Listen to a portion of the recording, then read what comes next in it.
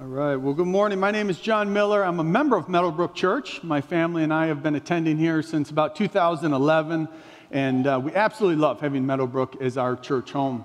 So, today we're going to be concluding the series that we have been in studying the book of Colossians. Personally, I've found this study to be very relevant to my life. I think the overarching point that Paul is making throughout the book of Colossians is that there is no part of our lives, no part of this world, no aspect of humanity that has been left untouched by the love of Jesus. Throughout this letter, Paul is turning society on its head. He is showing us that Jesus has triumphed. And because Jesus has triumphed, we are to be living today in this very moment the way that we will one day live in heaven. See, Colossians is often thought of as a very theological book, but when we actually understand the theology that Paul is teaching, we realize it has very practical implications in our lives. It changes our perspectives, and as we're going to see this morning, it changes everything all the way down to how we relate with one another. Paul concludes this letter the way that he concludes many of his letters by addressing his friends. And oftentimes we skip over sections of verses like this, maybe just because we see a list of names and we think to ourselves, well, what am I going to say about that? Or maybe it's just because the names are so incredibly difficult to pronounce. But I really appreciate the way that Bryan laid this series out, that he dedicated an entire Sunday morning to these verses, because this is where Paul begins to get at the relational side of things. And whether we realize it or not, relationships have a tremendous impact on our faith journey the people around us affect us. I mean, when we think about something like even why we go to the church we go to, right? I mean, certainly we've got to find a church that aligns with our spiritual beliefs, but beyond that, typically we go to a church because we walk through the doors, we feel welcomed, we feel comfortable, we connect with the people, and it becomes our church home. Or when you think about the reason many people will leave a church that they've been involved in for some time, very often it's about relationships right? Somebody says something or does something we don't like, and we think to ourselves, I'm out of here. Right? Or how many people do we know who struggle to engage with faith at all because they know a Christian who said or did something, right? Or a pastor or a priest who said or did something, and now they struggle to have a relationship with Jesus, struggle to come to church, struggle with faith all together. When I, uh, shortly after I graduated from college, I went to school in La Crosse, and uh, I was involved at a church there in La Crosse through my college years. After I graduated, I went on staff uh, to work with their youth ministry. And shortly after I went on staff, they started going through a church split. It was a really ugly time in the life of that church. Uh, we would have church meetings, and people would stand up and say all kinds of terrible things to one another. And oftentimes, people would leave the meeting very upset and angry. In fact, some people would walk out and say things like, I am never going to church again after seeing all of this. And the crazy thing to me is that it had nothing to do with theology, it had everything to do with relationships that had gone bad. See, the funny catch 22 of church sometimes is the relationships, right? It's, it's the people. You know, sometimes the great thing about Jesus' church can be his people, but frankly, sometimes the hard thing about Jesus' church can be his people. The people around us have a tremendous impact on our faith journey, and that's why we certainly don't want to skip over verses like these where Paul begins to get at the relational side of things. Ultimately, I think the, the point we're going to see this morning is that Paul makes clear to us that the ministry of Jesus, that the church, is not just about one person.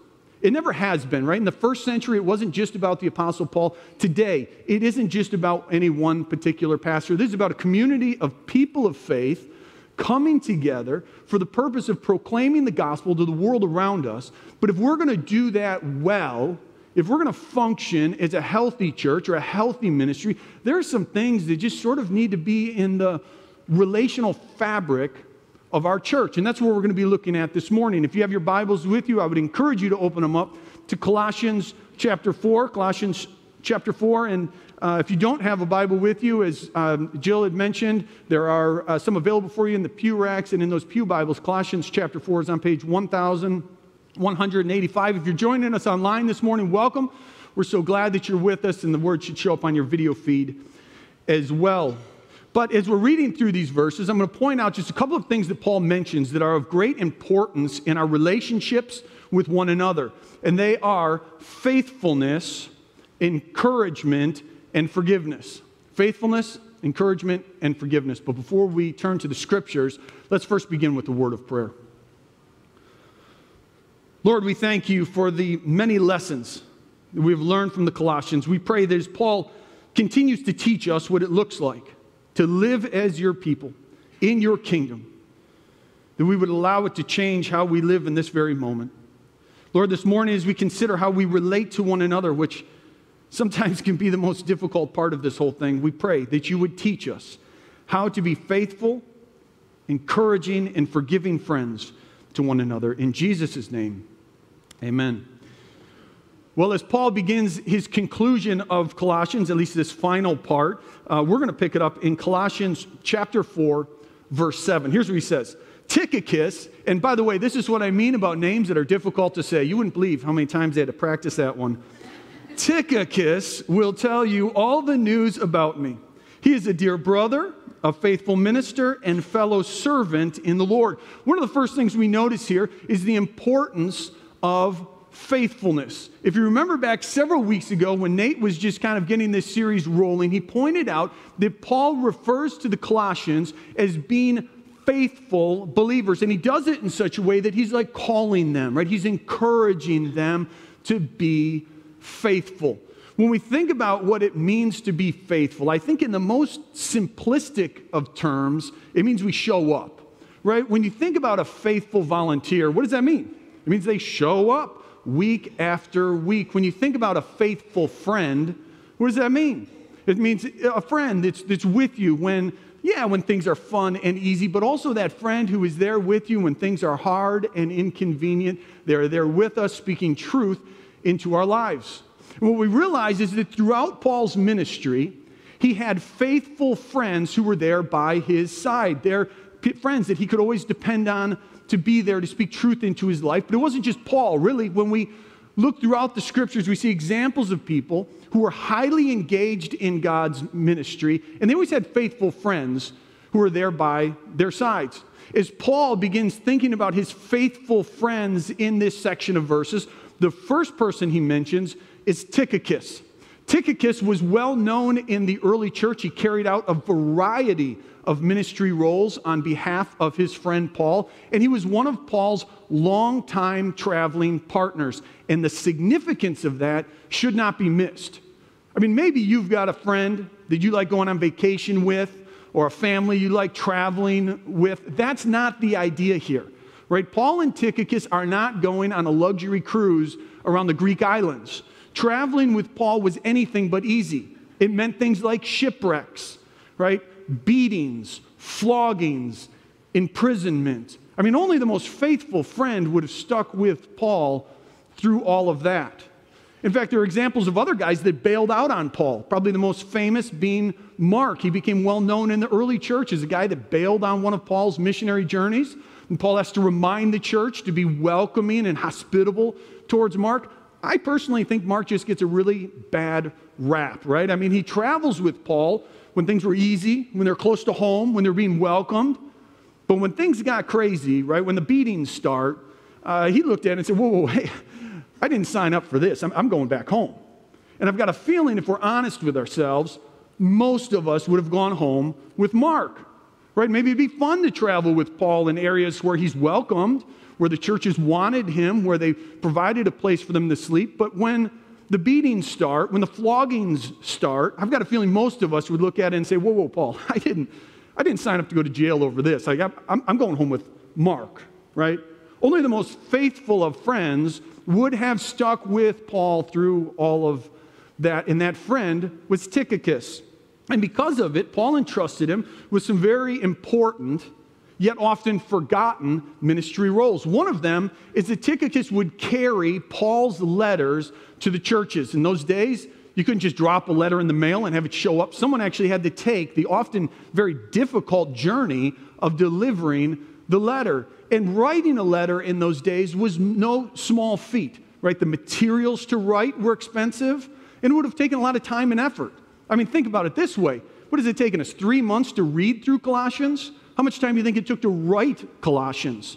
And after putting that much energy, effort, and finances into something, the last thing you want to do is give it to someone who's not going to get it there, right? And so he gives it to his most faithful friend to deliver the letter. And then when he would show up at the churches, Paul would entrust him to speak on his behalf. And that takes a lot of trust, right? I mean, Paul couldn't call and find out what he was saying. He just had to trust that Tychicus was speaking well on his behalf. And then when Paul would call the early church pastors for their sabbaticals, guys like Timothy and Titus, when it was time for them to go on sabbatical to be with Paul, to be trained, to be encouraged by him, Paul would send Tychicus to go and fill in at the churches to continue carrying on the ministry there. Faithfulness is a wonderful quality, but one, frankly, that's kind of hard to find. But the reality is that all of us need faithful friends, don't we? I mean, we all need that friend who, yeah, is going to be there when it's fun, but also the friend that's going to be there when we really need them, when things are hard. They're speaking truth into our lives. And here's the reality if we all need friends like that, that means we need to be friends like that to others, right? Not the friend that's always bailing, coming up with an excuse in the last minute, not the friend that never shows up when it's inconvenient, but the person who's always there for our friends, speaking truth into their lives. And, it's, and that kind of faithfulness is rare and it's extremely attractive to the world around us. Right? I mean, how often do we hear somebody share their testimony about how they came to faith, and it starts with, hey, I had this friend, right? I had this friend who was always there with me, always encouraging me, and finally I started going to church, and then it goes on with the story. Right? This kind of faithfulness is so important in our relationships with one another. And so Paul points out faithfulness. The second thing he points out here is the importance of encouragement. As the text continues, here's what Paul says. This is verse 8. He says, I am sending him, Tychicus, to you for the expressed purpose that you may know about our circumstances and that he may encourage your hearts. Tychicus was often sent to the churches with the expressed purpose of encouragement. He would go to these new churches, these young believers, and he would encourage them. Encouragement is something that is often lacking in our world. I think in the competitive culture that we live in, it's much easier to be discouraging than encouraging towards one another. I've got a feeling encouragement is probably something most of us could use a little bit more of on a regular basis. I think that's generally true today, and I have to imagine it was generally true 2,000 years ago as well. And that's why Paul would send him to go and encourage these churches. But often, when it comes to the topic of encouragement, we miss a little nuance of what Paul has to say here. Because did you notice that he said, for the purpose of encouragement, that Tychicus is going to share the exact circumstances of Paul's life? Right? What's really going on in Paul's life. He's going to share that with the church, and then he's going to go back to Paul and share with them the exact circumstances of what is going on in the life of the church. My point here is that if we're going to truly encourage one another, we need to know what is going on in each other's lives. Right? I mean, certainly I can stand up here and throw out some blanket statement encouragement, but if I'm actually going to encourage you in the way that your souls need to be encouraged, I need to know what's actually going on in your life. And the same is true of me, right? I can't expect to be encouraged by you or by the, the church if I'm not honest about the reality of my circumstances, right? If I'm going through some really hard stuff, but I come to church every week and pretend like everything's okay and great, I can't expect to find the encouragement that my soul truly needs. And I think that's why Paul sets this example for us of saying, hey, remember my chains, right? He says, remember, I'm, I'm struggling right now. I need your prayers, I need your empathy. Like things aren't all neat and perfect in my life. So I think part of the challenge for us here is that, well, even though we know it's not true, we tend to believe that if we're really good Christians, our lives will be neat and tidy and pretty.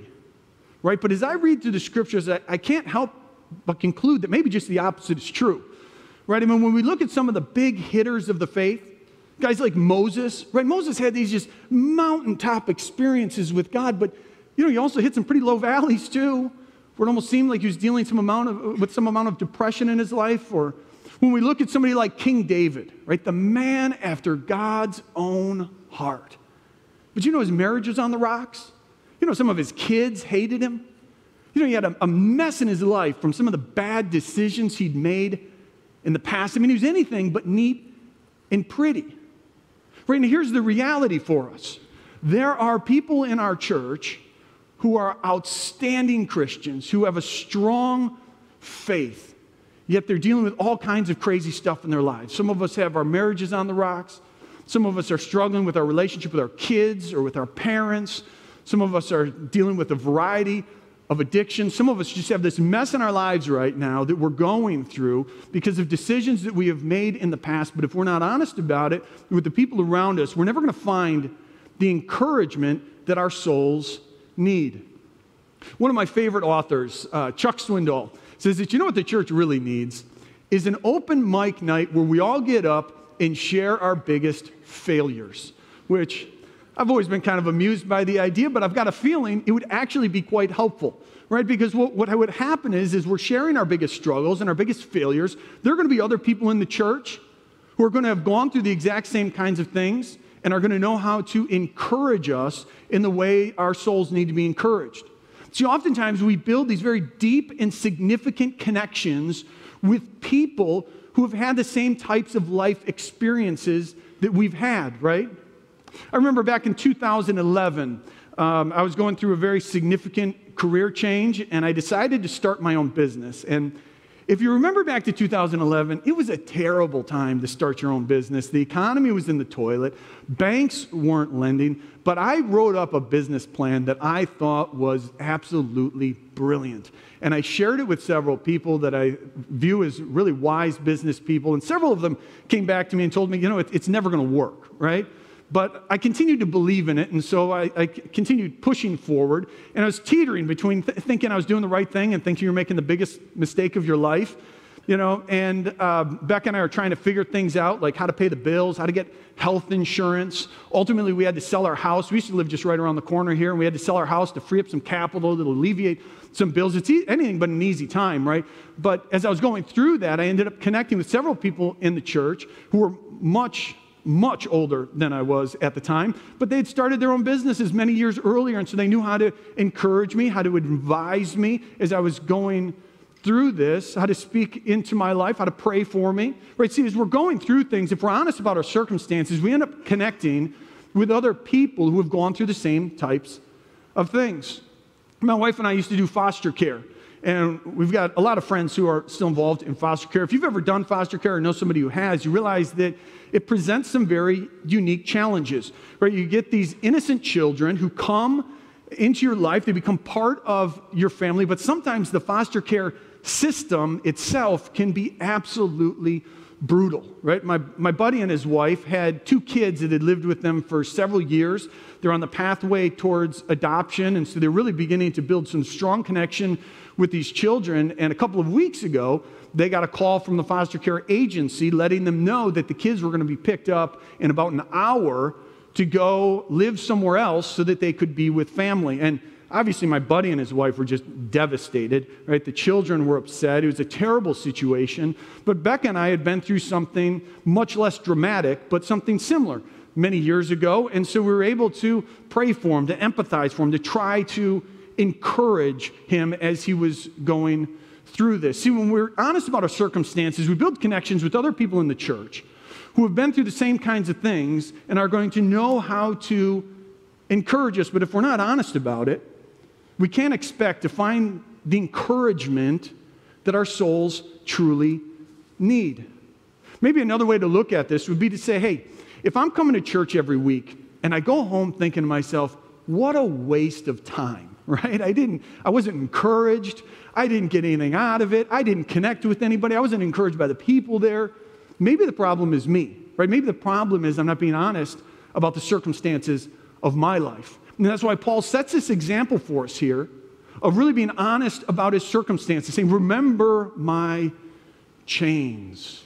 See, we need to be honest about our circumstances to receive the kind of encouragement that we need together as the family of God. And so we realize we need uh, faithfulness, we need um, encouragement, and finally, probably the most difficult of all, we need forgiveness in our relationships with each other. Here's how Paul continues in this text. This is Colossians chapter 4, verse 9. He, Tychicus again, is coming with Onesimus, our faithful and dear brother, who is one of you. Remember that line. Remember that. Who is one of you?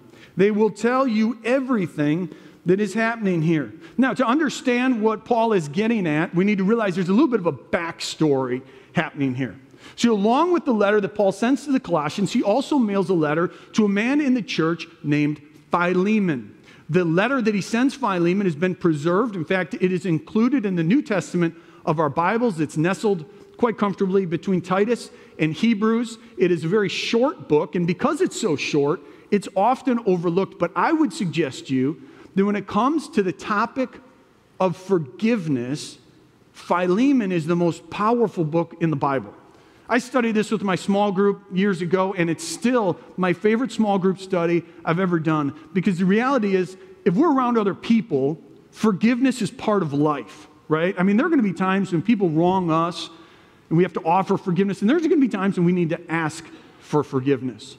And so, the backstory here of what Paul is getting at is that there is this man, Onesimus, that he mentions here in verse 9 that we just read. Onesimus. Onesimus was a slave to a man named Philemon. Apparently, Onesimus stole from Philemon and took off on the run, a crime at that time that was punishable by death. So, as you can imagine, Onesimus was on the run and he was running fast, right?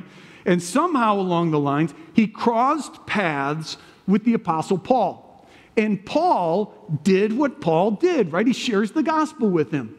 And pretty soon, Onesimus becomes a Christian. His life is transformed by the power of the Holy Spirit, and he becomes a close friend of the Apostle Paul's. Now, Paul finds himself in the middle of this situation because all of a sudden he's good friends with this man Onesimus, but he's also good friends with Philemon.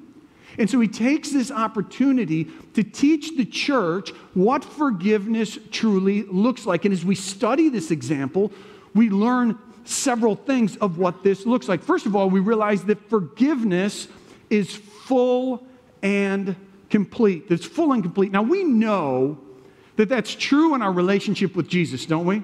Right? That, that he washes our sins away white as snow that he takes our sins, as he tells us, as far as the east is from the west, as far as they can possibly be taken. He sets this example of full and complete forgiveness. But do you realize that is the example he sets for us of what forgiveness looks like in our relationships?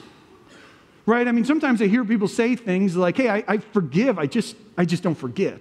Right? But I, I don't see how that fits in the example Jesus sets. He doesn't tell us, hey, uh, uh I, I, forgive you, but I'm, I'm not going to forget all those things you've done, right? Forgiveness is full and complete. See, what the world teaches us about forgiveness is that when somebody wrongs you, you never forget. Right? And we end up with this sort of conditional forgiveness where we look at it and we say, hey, I'll forgive you if you prove to me who you are now, if you act in the way I want you to act. If you do these things, then I'll forgive you. But that's not the example we see in the Bible. See, what Paul says is hey, Onesimus is coming back to you. He's been forgiven by God. Now you need to forgive him. Years ago, one of my uncles went to some counseling, and um, after the counseling time, he, he used to always quote this thing that he learned from his counselor that he found very helpful, which was that there are situations in life that you need to deal with put behind you, and move forward. In fact, he even had hand motions he would do. So you got to deal with it, put it behind you, and move forward. And he would reference this so often that he shortened it down to just sort of this flick of the wrist, where you just sort of do this thing deal with it, put it behind you, and move forward. Now, I know that to say deal with it is a dramatic oversimplification of the complexities of forgiveness. But at some point in our lives, we need to be able to forgive, put it behind us, and move forward. Paul says, I am sending Onesimus back to you. He is a faithful and dear brother. He is one of you. Now, that's a powerful statement. If you remember, Onesimus was a slave to Philemon. And I think ultimately, I think Paul is making a statement about slavery here. Right? We know that God never wanted or intended slavery. And so Paul says Onesimus isn't a slave. He's not less than you. He is your equal. Imagine the controversial nature of what Paul is saying here. In the world they lived in, slavery was part of life. Imagine what people outside the church were going to think of this. I mean, here comes Onesimus back to Philemon, not because he was arrested and drugged back, instead, because he's choosing to come back, even though the punishment for what he had done was death. Right? But now, instead of executing him, Philemon receives him back as a brother, as an equal. I mean, this would have made a tremendous statement to the world around them. Probably an unwelcome statement from the position of those in power. I can't imagine the other slave owners really liked this idea, but ultimately, what Paul is doing is he's turning society on its head and he's showing us that there is an entirely new way to live in the family of God, and it involves full and complete forgiveness. Secondly, what we learn about forgiveness is it's what we have to do even if there is no apology. So I'm somewhat struck by the fact that when you read through Philemon, Paul doesn't say anything about Onesimus having to apologize. Right? He doesn't say, hey, hey, uh, um, Philemon, Onesimus is going to come back to you, grovel before you with a beautiful, heartfelt, meaningful apology. And if you choose to accept it, then you should forgive him. No, he simply says, hey, God's forgiven him. Now you need to forgive him. How often how often do we stay bitter, waiting for an apology? Waiting for an apology that's probably never going to come. Right? I mean, I've got a few people that I'd, I'd, love to have grovel before me with a beautiful apology. You know, it's not, it's not happening, right? So at some point in my life, I need to forgive because Jesus forgives. Forgive even if somebody doesn't apologize to me. Third, forgiveness leaves us vulnerable. It just plain does. I don't think there's any way around this, right? If we're on the side of things where we're offering forgiveness, it puts us in a position where we can be hurt again, doesn't it? And if we're the person asking for forgiveness, it puts us in a vulnerable situation. I mean, imagine the vulnerability of Onesimus in this moment, right? He is going back with the hope he's forgiven he's either going to be forgiven or executed, right? This, he's got a lot on the line. This is life or death. And I imagine that's part of the reason Paul sends Tychicus along with him to make sure he actually went. I mean, have you ever had to do the right thing and you just didn't want to go? And you need a faithful friend like Tychicus there with you, sort of dragging you along to make sure you actually do it? See, because when it comes to things like forgiveness, oftentimes it's easier for us to do what Onesimus did the first time and run away. Right? It's easier to go to a new church, to find new friends, to move to a new place, to start a new life than it is to find reconciliation in the family of God because it often puts us in a very vulnerable place. But it is in those times where we continue to grow into the people that God is calling us to be. Fourth, forgiveness allows people to change. In life, we, we grow, right? We, we change.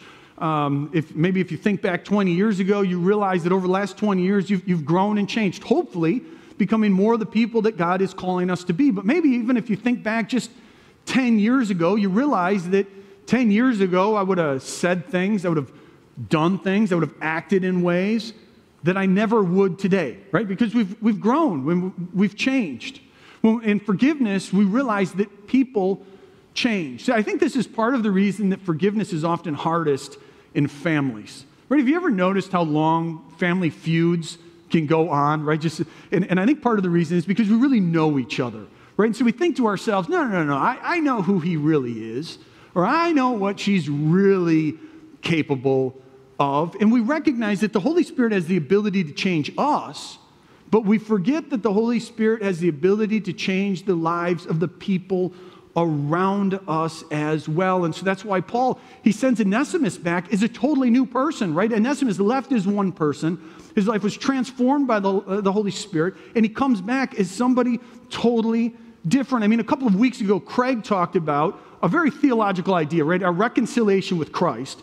But here we see it very practically in our relationships with each other, what this reconciliation truly looks like through forgiveness of one another. I find it somewhat ironic that uh, Paul was imprisoned unjustly, yet he's defending someone who at that time would have been imprisoned justly. And ultimately, what Paul is doing here is he's showing us that in the family of God, there's an entirely new way to live. He's turning society on its head, and he's showing us a kind of forgiveness that's countercultural. It always has been. It was countercultural in the first century, it's countercultural today. Our ability to forgive will always be a standout marker of being a follower of Jesus because the way he calls us to forgive makes absolutely no sense to the world around us, but it is extremely attractive, right? Because in life, we're all going to find ourselves in places where we need forgiveness, right? Where we need forgiveness from our family, we need forgiveness from our coworkers or our, our friends or our neighbors. We're going to find we need forgiveness. And in those moments, it's incredibly refreshing to be part of a community of people who understand how to forgive the way that Jesus forgives. You know, in the following verses, uh, Paul continues to mention several more things that are important in our relationships with one another. But ultimately, how we relate to one another reveals how well we understand what Colossians is truly all about. See, understanding the gospel is a fascinating thing right? Because there's knowing it and then there's really knowing it. You know, sometimes it's easy for us to know what Paul says, the theology of it all, maybe even to memorize it.